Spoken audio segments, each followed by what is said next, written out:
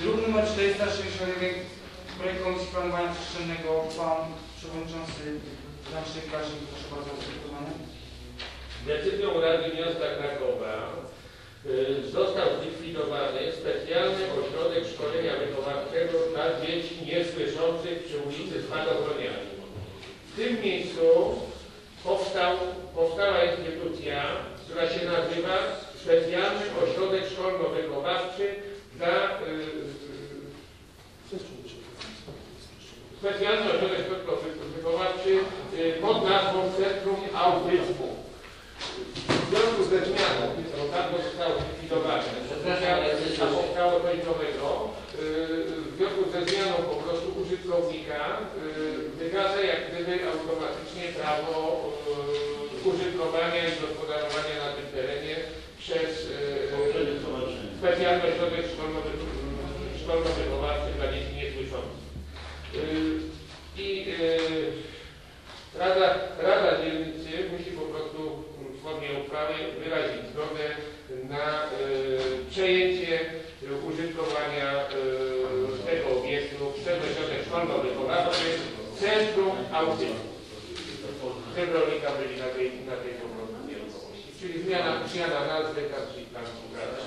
No. Dziękuję bardzo. Dziękuję, przepraszam, dziękuję bardzo panu y, radnemu Kasznikowi. Otwieram dyskusję. Pan radny Jacek Wojt, proszę uprzejmie. Przepraszam bardzo, że tak. Bo trochę jestem wybudowany tym, bo to w moim sąsiedztwie nie mój teren radnego, ale y, czy w takim razie tam zupełnie przestaje działać ośrodek dla głuchoniemych, jak to się od dziesięcioleci nazywało? Zostaje się teraz inaczej nazywa. Zostają na miejscu. Znaczy inaczej. y, Przepraszam, No ale pojęcie głuchoniemy to jest, jest y, y, różne od pojęcia autyzmu. No autyzm to jest inna wada, y, inna niepełnosprawność. Co z tymi głuchoniemymi się pytam? przepraszam, pan radny y, dalej Cała jednostka będzie w tym miejscu, tak jak była do tej pory. Tam są dwa mm, środki na personalne, one zostaną połączone w jednym centrum autyzmu. Wszystkie dzieci, które tam są, będą Ale Ci że dzieci niesłyszące tam przeniesione do ośrodka gdzieś w centrum. Tak. Te zostaną tylko wyłącznie autystyczne, bo ciężej Tak. przenieść autystyczne. No tam wiem, że Tam nawet materiał telewizji na ten temat. oczywiście. i tak uchwała to jest- stowarzyszenie niepewnosprawności niesłyszących, jakich nie ma jakichś zastrzeżeń do tych zmian, czy to wszystko odbywa się w sposób taki łagodny, czy też z jakimiś perturbacjami? Stowarzyszenia nie ma. Nie ma, bo zostało zlikwidowane Jacku uchwałą Rady Miasta Krakowa z dnia 10 kwietnia 2013 roku. No i co z Nie istnieje, nie istnieje specjalny ośrodek szkolno-wychowawczy dla dzieci niesłyszących. Nie ma takiej Teraz, teraz nas będzie się to tak nazywało, jak mamy w uchwale, a z informacji, które też ja uzyskałem,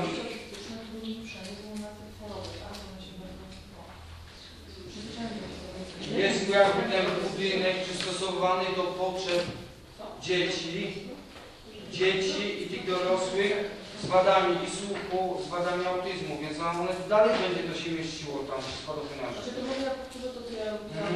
dalej teraz. E, Chodziło o że o to, że dzieci autystyczne zostaną w ośrodku na lotnictwa, ponieważ z uwagi na typ choroby, e, schorzenia, który powoduje, że wszelkie zmiany otoczenia powodują jeszcze większe pogłębienie się choroby, dzieci autystycznych nie można przenieść z tego miejsca, a dzieci ponieważ zostaną przeniesione do jakiegoś ośrodka zatrudnionego w centrum miasta, nie pamiętam ulicy, ale zostaną przeniesione i wyraźnie pamiętam w tym reportażu tłumaczyli, że dzieci autystycznych nie można przenieść, może to do nich. Ludzie przynosi się dzieci głuchonieme z tego lotniska. Dzieci autystyczne zostają, ale na regulatę jak powiedzmy przenoszą. Ja też słyszałem, że sobie na tak tutaj tam, gdzie były. A ja słyszałam, że Nie, nie tak. dzieci było tam Dobrze, Państwo drodzy, może tak, może zobowiążę się na przykład do uzyskania informacji na ten temat, żeby, wie- o proszę bardzo, może Pan radny jeszcze...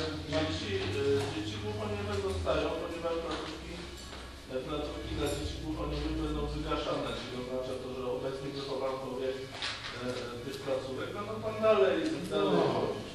Natomiast będzie tam centrum autyzmu, natomiast e, centrum dla dzieci głuchoniemych, tylko już y, nie dla tych, które obecnie uczęszczają na leczenie, nowych, będzie tworzone gdzieś na podwórzu Chodzi o to, żeby dzisiaj, to dzisiaj mamy pewien taki miszmasz tak naprawdę, bo wszystko się, wszystko się naraz. Dzieci autystyczne dzieci głuchonieme w wielu placówkach na terminach one są porzucane i, yy, i to nie najlepiej służy. No generalnie chodzi o to, żeby stopniowo, żeby stopniowo już yy, zrobić po prostu dwa centra tak naprawdę. Jedno obsługujące dzieci z autyzmem, drugie obsługujące e, te problemy, te problemy dzieci głuchoniemych, przy czym to założenie jest takie, że te szkoły, które u nas dla dzieci głuchoniemych mają być wygaszane, czyli, czyli to będzie wyglądać tak, że wszyscy wychowankowie tych szkół, e, którzy obecnie tego uczęszczają, będą uczęszczać dalej. Dziękuję bardzo. Również dziękuję. Przystąpmy, przystąpmy do głosowania. Kto jest za poparciem 461, proszę o podniesienie ręki. Dziękuję bardzo. Kto jest przeciw? Nie widzę. Kto się wstrzymał? Nie widzę. Dziękuję. Jedna osoba. Pan Gruszka. Yy, uchwała została podjęta.